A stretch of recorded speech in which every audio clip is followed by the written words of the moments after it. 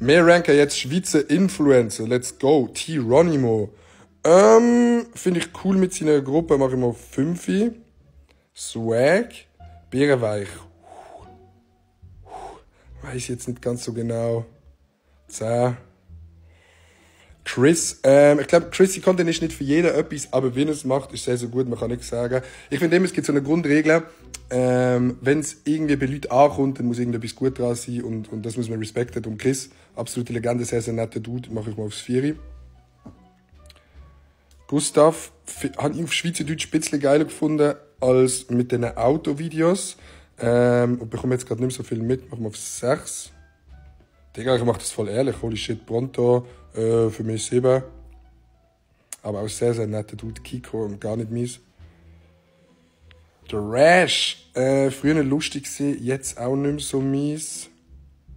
Erik, finde ich, kann übel gut schauspielern, habe mit ihm bis in einer Serie mitgespielt, absolute Legende. Ähm, sehr, sehr geil. Und auch so gut auf Bühnen und so.